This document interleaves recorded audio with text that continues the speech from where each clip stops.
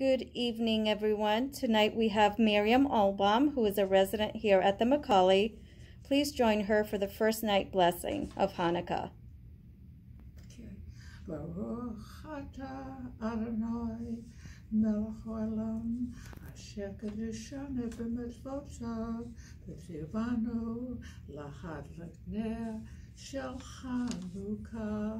Blessed are you, Adonai, our God, sovereign of all, who hallows us with mitzvot, commanding us to kindle the Hanukkah lights.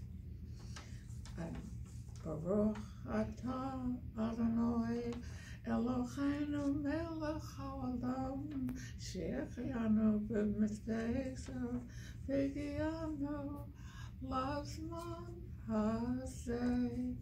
Blessed are you, Adonai, our God sovereign of all, who has kept us alive, sustained us, and brought us to this season. And we kindle these lights because of the wondrous deliverance you performed for our ancestors. And during these eight days of Hanukkah, these lights are sacred.